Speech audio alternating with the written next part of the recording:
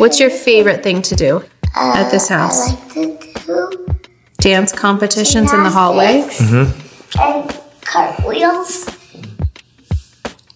Dance competition, playing the piano, doing my violin, and mm, In the summer, you love to swim. and I like to find animals and shoot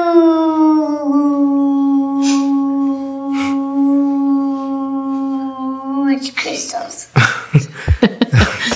really? There's that big of crystals? There's some that big. There's some bigger than that. There's Wow. Some little, little, little, little, little. Wait, where's Hayden?